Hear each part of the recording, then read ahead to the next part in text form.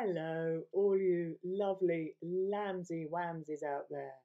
This is Jenny from Healing the Wounded Heart. Isn't it absolutely wonderful that God sees us? He knows all there is to know about us, including our bad points, and yet He still continues to utterly love us.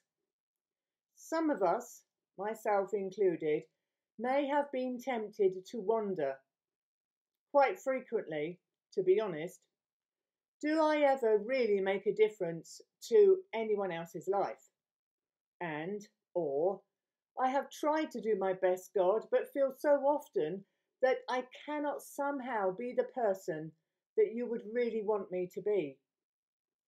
Please be encouraged from God's word today, which says this in Hebrews chapter 6, verse 10. God will not forget your work and the love you have shown him as you have helped his people and continue to help them. God sees and remembers every single thing that we do in his name. This can definitely spur us on, can't it, to keep showing the same diligence right until the very end. So this means that literally everything done in his name is seen and celebrated in heaven.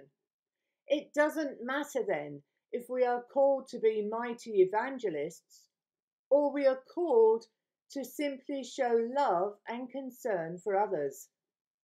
God sees us. This scripture is such a wonderful word of truth that I was personally given this by a dear Christian friend in the earlier years of my ministry. And I found it to be such a wonderful help and encouragement to myself. So, as I pass this on to you, my prayer is that you will be greatly encouraged too. God bless you. Amen.